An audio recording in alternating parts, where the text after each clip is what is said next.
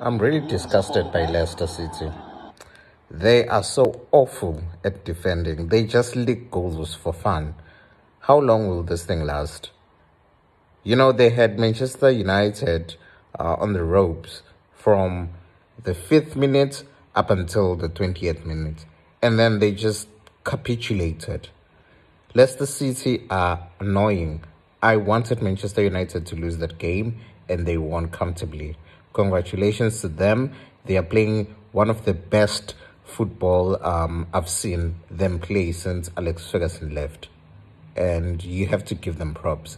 They look like a real side right now. The fans are behind them. Um, there's chemistry within the team, and you see that. You know, as an Arsenal fan, I'm a little bit worried. I'm a little bit worried. Um, geez, they are, they are good. They are good. But um, I think it's City that should be more worried than we are. Um, if anyone needs to worry, but we need to start taking Manchester United very seriously. So disappointed in Leicester City, and congratulations to Manchester United. I think overall, you deserve to win that game, and you did well to win that game. So kudos to you guys, and um, yeah. I hope you lose against Barcelona. but oh, before before before before I forgot, Rashford, how good he is.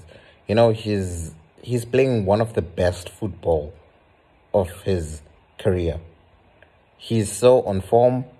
Everything he touches turns to goal, and you have to respect that. I'm happy for him.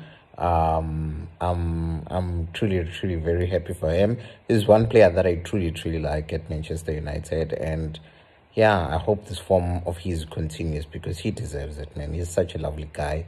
He does well for the community, and when things were not going well for him, you know, you had people evil people, vile people coming out and saying that, uh, well, he should focus more on his um, football and forget about the good that he does, feeding the kids and all. I mean, how how could they?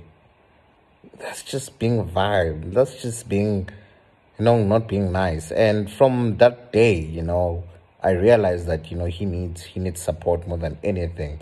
And I'm one guy that has never bashed him, no matter what. And I hope he doesn't sign for Manchester United. I hope he goes to PSG and play the best football of his life there rather than United. But I'm so happy for the guy and um, annoyed that Manchester United uh, won today. Anyways, kudos.